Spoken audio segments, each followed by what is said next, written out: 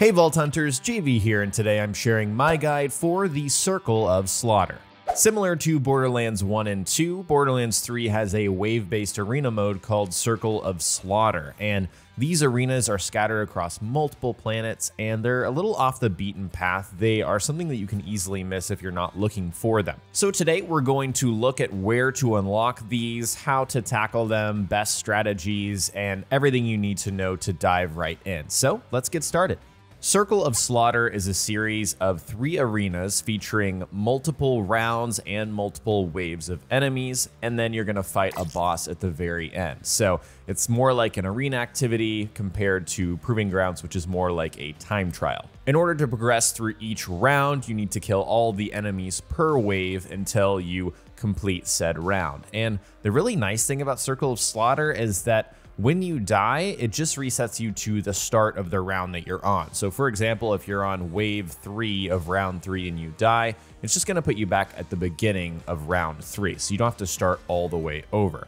However, if you fast travel away from the area, that will completely reset your progress. So keep that in mind. Circle of Slaughter also has randomized optional objectives like get 10 melee kills or 10 grenade kills stuff of that nature. And if you complete these, you get a reward chest at the end of the round. And what's also nice is that these rounds probably last like three to five minutes, I would say. Some of them are longer depending on your difficulty level. So you have plenty of time to complete these optional objectives, and they will always be displayed in the top right corner. This is also a repeatable activity. You can do Circle of Slaughter as many times as you'd like. You can do them back to back it doesn't really matter, and you can also jump in these immediately when you unlock them. You don't have to do this just at the end of the game. Some other things to know before we hop into how you unlock these arenas. First off, difficulty scales with True Vault Hunter mode and Mayhem mode. So Keep that in mind when you're doing this. If you ratchet up the difficulty, you're to run into more badasses, which is great because that's to give you great loot, but at the same time, it's to make it more difficult. So always keep that in mind. And also, because of the amount of badasses that show up in each arena, this is a great source of legendary world drops. So if you're going after that Lucian's Call, for example, or another really good world drop like the speed loading Hellwalker, then this is a great area to do this. However, it is less efficient than farming. But I'd argue this is more fun because you're actively doing something, you're moving around, you're not just repeating a loop of farming one enemy over and over and over. Between each round, you actually have some time to breathe, and that's when you can go and loot stuff that's been dropped during combat that you couldn't, you know, just run over and grab that cool sniper, just, you know, leave it, you can grab it in between rounds. But most importantly, you can visit the vendors that are on the outside of these arenas between rounds. And that is absolutely something I would recommend. Go refill your ammo between every single round, especially if you're playing on a higher difficulty. Also, keep in mind if you want to play with other people, you can use the matchmaking system via the social tab to find a group for Circle of Slaughter. And the nice thing is, you don't have to unlock these. And I'm about to show you guys how to unlock everything but you don't have to do that if you use matchmaking. However, you can't select the specific circle of slaughter to go into through this system. So you can't pick the arena. You're just going to get plopped with other people who are also using the matchmaking system. Let's go over how to unlock the circles of slaughter. So these are very similar to the proving grounds. They're easy to miss and they're found in specific areas of the game that are unlocked by playing the story. So long story short, all areas that you need to unlock all three arenas will be unlocked by the end of the story. So that means you can just fast travel to these areas, go to the location, find the new place where you can now fast travel to, and then you'll be able to do each arena. And of course, I'll show you guys specifically where you need to go as I talk about each arena. The first circle is Cistern of Slaughter, and you run into this very early in the game. It's unlocked in Meridian Metroplex on Promethea. So you guys know right after you leave Pandora for the first time and go to the first planet and meet Lorelei, all you need to do is travel to this underground sort of area, and that's where you'll find the world, you know, fast travel wall, so to speak, and go through the loading screen, and that'll bring you to the Cistern of Slaughter. So this one features pretty much all variants of wildlife that you run across throughout the course of the game. So we're talking about, you know, Pandora wildlife like Rakk, Skag, spider ants, and then also Promethea. You're going to see some Ratch and Eden 6. You're going to see some Tyrants and uh, Grogs and stuff like that. And also Necrotafeyo, some Vanda and Manticore. So really, everything that's a creature, you're going to see it in this arena. As per usual with these enemies, you only need incendiary and corrosive items and abilities because they only have flesh and armor. So that's what you're going to run into. I wouldn't really super worry about shock abilities unless you're running a specific shock build that you think might be worth it, or you're running a mayhem modifier that supports that kind of playstyle. This is a trend you'll see throughout each circle, but essentially each wave and each round is comprised of similar enemies, and then they'll kind of combine some enemy types together in a particular round. And a lot of the times you'll see different, you know, exotic variants of these enemy types that will counter what you're using. So for example, you'll see a flaming spider ant or something like that, or a shocking jabber. So you need to be able to, you know, bring a loadout that is able to adapt to these enemy types. The one enemy type I would really watch out for are the prismatic Rakks. And the issue with these is they swoop in. You guys know if you've played Borderlands games before, Rakks suck. I really hate them because if they down you or if anything else downs you and you're trying to get back up and fight for your life, then you have to deal with these, you know, creatures that are flying around. And the badass prismatic Rakks are pretty much immune to most types of elements. And that sucks for me because I run an elemental build it's probably something you're going to run into as well. So my best advice is to get underneath this sort of, you know, catwalk walkway here and force these prismatic Rakks to come underneath to you. If you're Amara like me, you can just phase grasp them and burn them down that way. But if you're a different Vault Hunter, I would try to use cryo abilities and weapons in order to slow these things down and then burn them down that way. Because again, they're just super annoying. The AI is really annoying, so you need to kind of trap them and then kill them that way. The final boss for the Cistern is the Tremendous Rex, and this guy has only armor. So Obviously, you're going to use corrosive to melt through that armor, and he shoots a bunch of like rock projectiles. So just practice your side strafing here to avoid the projectiles. I mean, that's essentially how you avoid any damage in Borderlands. So pretty much just rely on those things that you've learned throughout your playthrough in order to down this guy. He's pretty easy.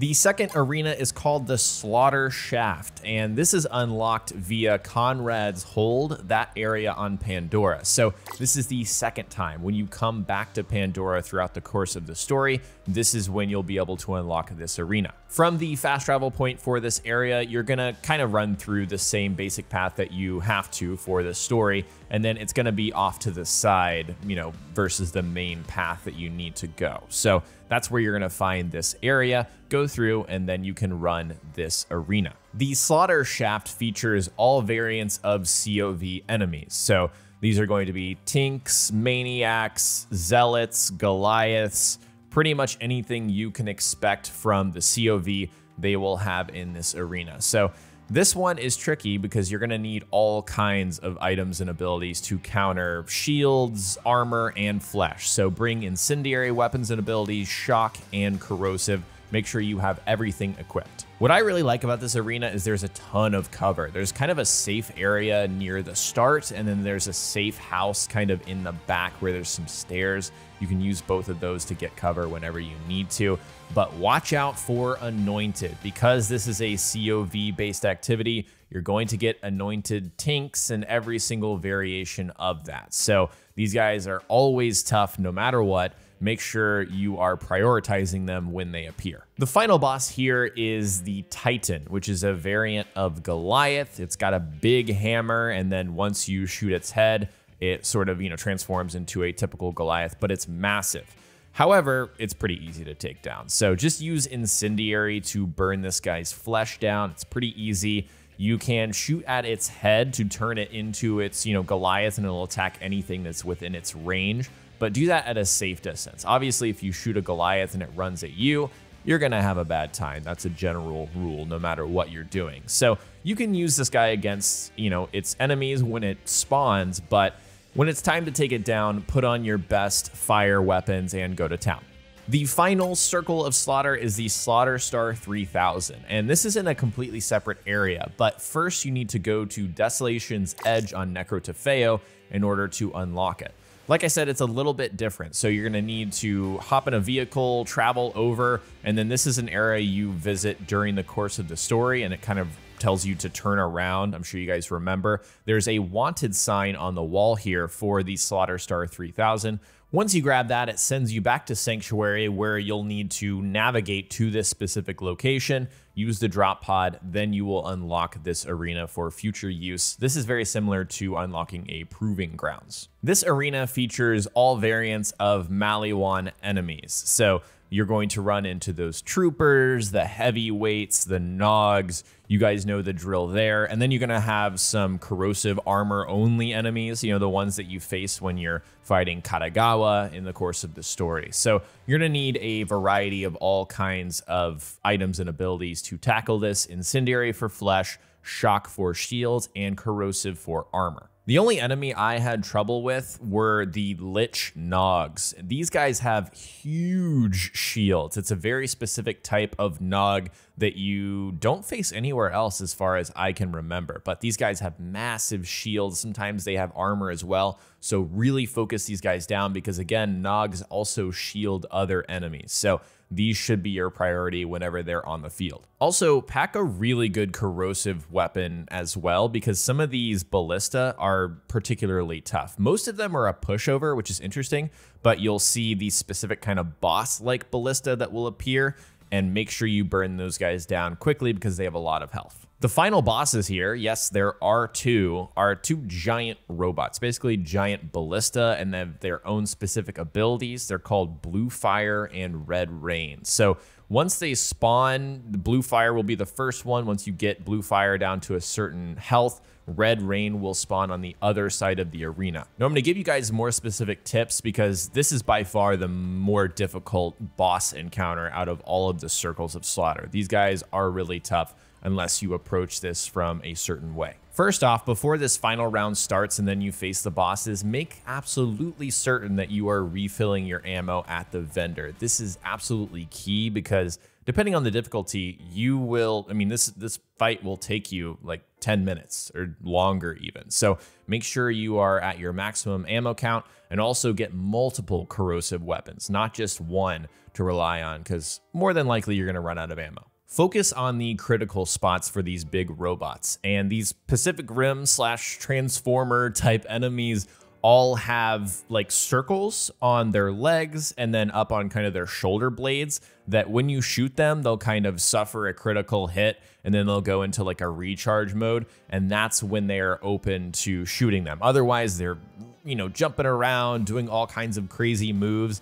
And then you need to watch out for their special attacks Blue Fire has this barrage of explosives that will down you, like almost no matter what, unless you've got some really good defensive abilities. So make sure you're near uh, another enemy that's there so you can get yourself back up with Fight for Your Life or find some cover. And then Red Rain also has kind of a missile barrage that's going to home in on you. So I would definitely watch out for that too. This is something you're probably already going to do, but it's worth noting, don't stand in the middle of the arena like equidistant between Blue Fire and Red Rain, because both of them will hit you with their attacks if you do that. So if you're going to take down Blue Fire, for example, stay closer on his side so you're avoiding Red Rain's attacks, but obviously make sure and watch out for that huge explosive special move that he does, because that will wreck you.